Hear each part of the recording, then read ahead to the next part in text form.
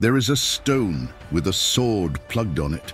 Only the one with royal blood can move it. My father, Sir Ector, raised us well, and this bond we have created will guide us through the storms to come.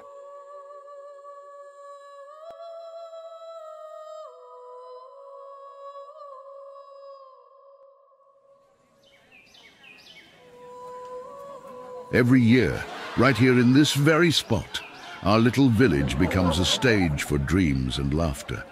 There's a stone, ancient and unmoving, with a sword plunged deep into its heart, a symbol, a challenge that has echoed through the ages. They say only one with royal blood, a true heir to the throne, can pull it free, so they come, the strong and the brave, muscles bulging, hearts full of hope. Each believing he'll be the one to change the story.